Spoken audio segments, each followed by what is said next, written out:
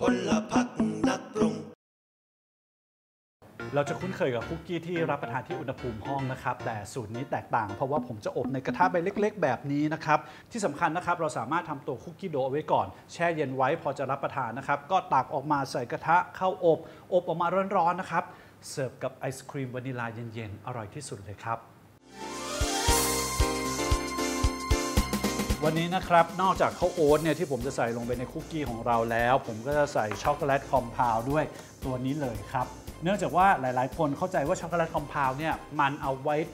แต่งหน้าเค้กอย่างเดียวนะครับหรือว่าเอาไว้ขึ้นรูปช็อกโกแลตเอาไว้แต่งหน้านะครับจริงๆแล้วเนี่ยเขาสามารถเป็นส่วนประกอบในตัวเค้กในตัวคุกกี้ได้เหมือนกัน หรือว่าเราจะสามารถสับหยาบๆใส่แทนช็อกโกแลตชิพก็ได้ เช่นเมนูนี้นะครับผมก็จะสับให้เป็นชิ้นอย่างเนี้ยฮะ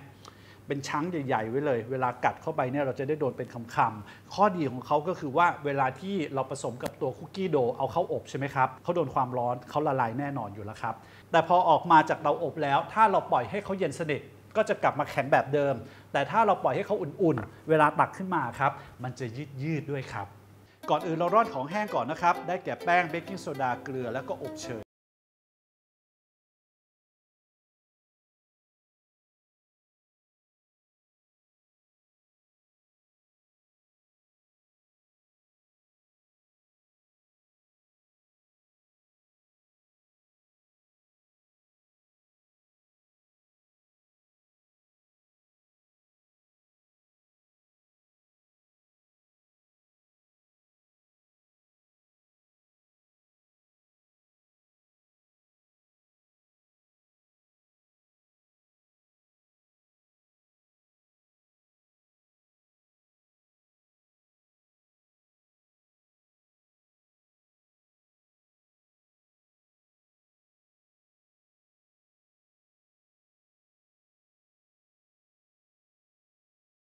ครับ เราสามารถเอาไปแช่ตู้เย็นนะครับ ยังไม่ต้องทำทั้งหมดก็ได้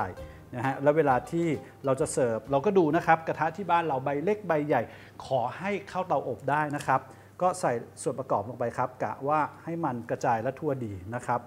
ผมจะบอกว่าอุณหภูมิที่ใช้อบ ผมใช้อยู่ที่ 180 องศานะครับ แต่ทั้งนี้ทั้งนั้นเราต้องดูด้วยว่า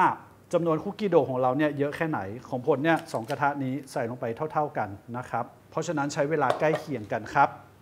ถ้าเกิดเป็นไซส์นี้จะใช้เวลาอยู่ที่ประมาณ 15 นาทีครับ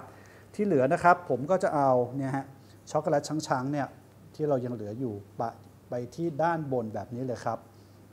สูตรนี้ทำได้หลายที่นะครับ แต่ผมจะอบแค่นี้ก่อนครับ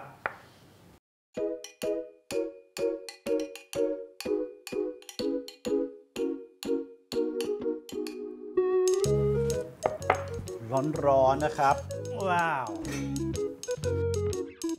เวลาที่เราเสิร์ฟนะครับเราก็ควรระวังด้วยบางครั้งเราอาจจะวางไปบนเขียงไม้หรืออะไรอย่างเงี้ยครับเพื่อเตือนให้เขารู้ว่ามันร้อนนะครับหรือว่าก่อนเสิร์ฟเนี่ยพักให้อุ่นๆนิดนึงก็ได้นะครับเวลาที่เรารับประทานลงไปเนี่ยเสน่ห์ของเขาอยู่ที่ความนุ่มของตัวคุกกี้นะครับที่ยังจะไม่แข็งดีนะฮะแล้วตัวช็อกโกแลตคอมเพลของเราเนี่ยครับก็จะยุ่มๆนะครับเอาละพร้อมเสิร์ฟแล้วครับผม ผมก็จะเสิร์ฟกับไอศครีมนะฮะวานิลา homemade อันนี้ทำเองด้วย ใส่ไปตรงกลางแบบนี้เลยครับ แล้วก็พร้อมรับประทานแล้วครับ